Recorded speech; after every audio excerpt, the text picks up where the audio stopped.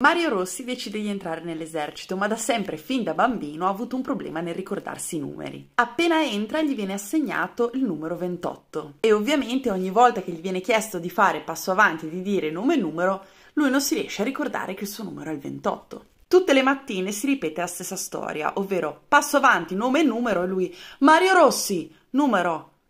Oddio, non me lo ricordo. 28! È il 28! Quante volte te lo dobbiamo dire che è il 28? Lui poveretto sempre più spaurito, niente, fa passo indietro, domani me lo ricorderò, ma niente, non riesce a ricordarselo. A un certo punto il colonnello si incazza va da lui e gli dice domattina alle 8 io ti voglio nel mio ufficio e mi devi dire nome e numero, altrimenti sei fuori dall'esercito. Tutto dispiaciuto, questo scusi sì però mi può ricordare solo un'ultima volta che numero sono? Il colonnello, il 28! Quante volte te lo devo dire? Sì, ok, 28, 28, 28, 28 la notte così a cercare di ricordarsi il 28. La mattina successiva alle 8, puntuale come un orologio svizzero, si presenta nell'ufficio del colonnello. Mario Rossi, benvenuto, entri, mi faccia un passo avanti e mi dica nome e numero. Mario Rossi fa passo avanti.